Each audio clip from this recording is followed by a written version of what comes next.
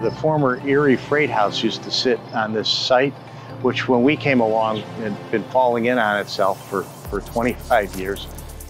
This site was leaching contaminants into the Buffalo River. So part of uh, the project here was the environmental cleanup. But if you look out here right now, you see people recreating, hanging out over here. Hard to believe that that would have been the case five years ago.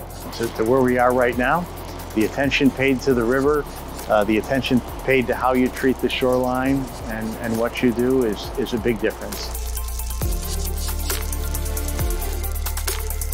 We have an incredible waterfront location here in Buffalo. Um, we have the Buffalo River, which we're sitting next to right now, which merges with Lake Erie at the head of the Niagara River. The problem is the majority of that waterfront for generations has been inaccessible to the community due to brownfields, due to pollution. So we've had entire generations that are raised who have never accessed or been able to even get on or touch the water in their own community.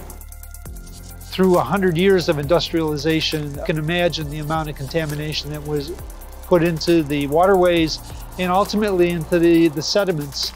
The Buffalo River was essentially a dead zone. In fact, one quote that comes out of it was, it was mosaic of colors. The Buffalo River Area of Concern means it used to be one of the most polluted hotspots in the Great Lakes.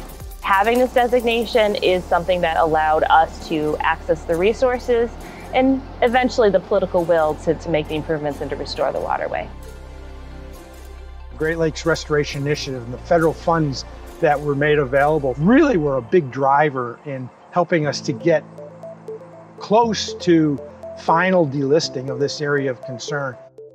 The restoration requires the remediation of all of the old contaminated areas and once you've remediated, the next question is, what are you going to do with that land? These sites are now prepared and clean enough for new development to come in and go with the future economy of the city of Buffalo and Western New York. This is going to be restored to its former glory, going to be a public market and public area.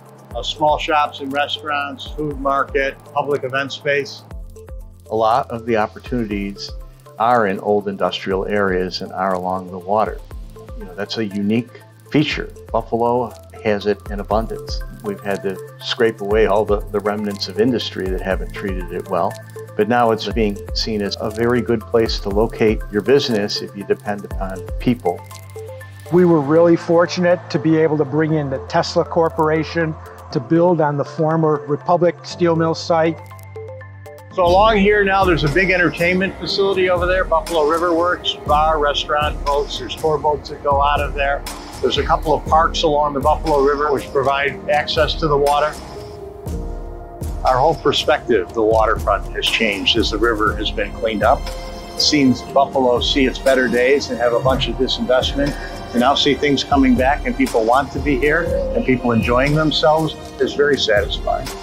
Ours was a 20 year overnight success with a combination of the investment that was happening for the restoration, this reawakening of our community as being a Great Lakes community. We're having an entire new generation that is finding this personal connection to their waterways, and that does bode well for our water. It's a different attitude now, forced to change in our thinking, but we've done a good job in reclaiming the river if it can happen in Buffalo and the Buffalo River, I truly believe it can happen anywhere.